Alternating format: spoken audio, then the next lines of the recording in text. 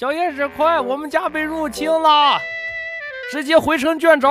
没事没事，你没事个屁呀！东西被拿完了，啥也没有，啥也没有，你们还翻？嗯，啥也没有还啊？嗯，小燕子，回来了，我无能为力呀。快锤默默妹子！哎呀，和你这个头八哥你啊，头跟你打斗似的，你给我站住！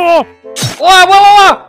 小莫叫啥也没用了，你给我过来！哼，以为我默默好欺负呢？妹子呢？走走走走，上一边去给我去！Thousand years later，嘿就嘿就啊哈，又是勤劳的一天。今天是距离默默想要开展树屋计划的。第二个月了哦，还是没有动工，就感觉累累的。啊呵，但是今天呢，不知怎么的，突然就有感觉了。好，咱们接下来就开始继续咱们的树屋计划吧。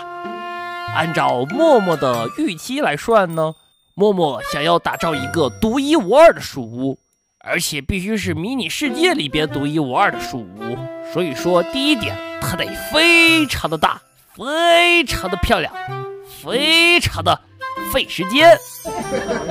好，咱们闲话少说，接下来直接就把最精华的部分交给小伙伴们。要想在迷你世界里建造一个独一无二的树屋，那么首先呢，它的外形一定是不能被常人所理解、所接受的。我们这里暂时给它定一个超级高的标准，恨天高。所谓恨天高，就是恨不得它比天还要高。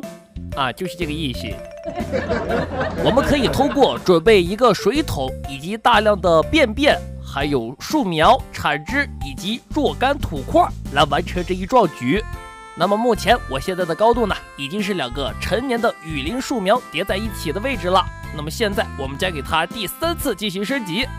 好，不需要多，只需要在四个角放上雨林树苗即可。来，用便便吹升一下。哦吼，好，这边已经出来一面了。啊，像这种顶着树的树苗，估计大概率都不能存活了，直接给它敲掉，继续在对角弄起来。哦，两棵树，再来一棵树连接一下，就在两棵树的正中间。哦，现在已经三棵都有了。哦，但是感觉这边还是有点空空的，没有关系，补点土块，再来一棵。好，这个位置就差不多了。嗯，四棵雨林树苗汇聚成的一棵巨树。现在咱们的高度已经是三棵雨林树苗叠加的高度了，那么我们现在只需按照同理再完成第四层雨林树苗叠加，看看会有什么样的效果。哇哦，远古巨树！哎呦我的妈耶！哇塞，这样看上去感觉完全不一样了，小伙伴们。哇，默默的大工程之偷天术，像根金箍棒一样插在这儿，孙悟空不会来偷酒吧？小叶子，你把这树加这么高，你是不是自己往上加的？加了好几层哦，好几棵哟，加了两棵。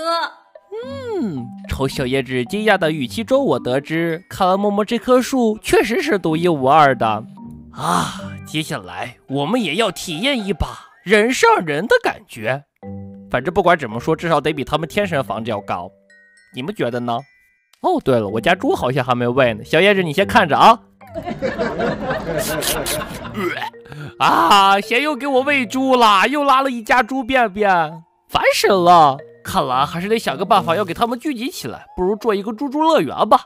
嗯，关于树窝的问题，咱们暂时就先不建了吧，等地瓜回来再建。反正小燕子，我感觉他也不会帮我建的。对，你对个屁呀！好了好了，快出来建一个猪猪乐园就收工了吧！还行！哎呀，不要在这里烦呀，还没建好呢。默默，快点快点，我快憋不住了，我要拉屎了。我在建乐园，不是在建厕所。你给我闭嘴！再来最后一个灯。嗯，猪猪乐园收工。感谢大自然的馈赠。嗯，好啊，睡觉去喽。